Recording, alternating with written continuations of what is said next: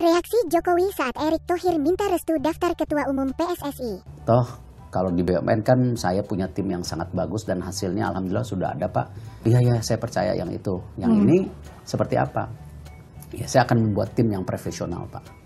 Yang saya pastikan ya kalaupun itu timnya ada di Exco ya mungkin nanti mereka kurang tidur semua Pak saya bilang. Karena kalau saya di BUMN sendiri ketika COVID sendiri kantornya nggak tutup tuh. Silakan cek. Ketika saya juga diwawancara dulu saya bilang ya udah saatnya dibongkar, membangun fondasi yang baik secara bersama gitu, bukan individu.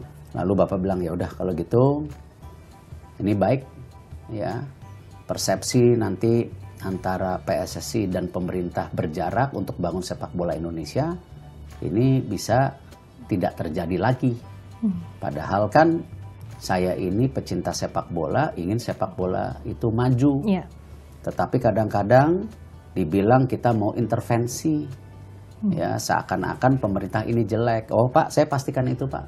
Dan Bapak tahu hubungan saya sama FIFA baik.